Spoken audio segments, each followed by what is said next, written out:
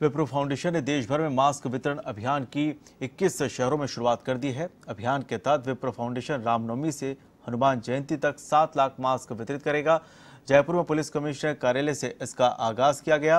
Wipro foundation के पदाधिकारियों ने इस अभियान की प्रभारी सुनीता शर्मा और ममता शर्मा के नेतृत्व में अतिरिक्त तो पुलिस आयुक्त अशोक गुप्ता को पाँच हज़ार मास्क सौंपे।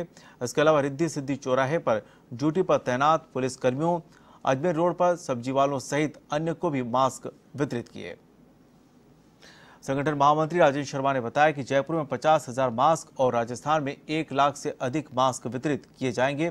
मास्क वितरण में विप्र फाउंडेशन के राष्ट्रीय महामंत्री पवन पारिक, प्रदेश महामंत्री राजेश कन्नल और नरेंद्र ओझा सहित कई लोग मौजूद रहे।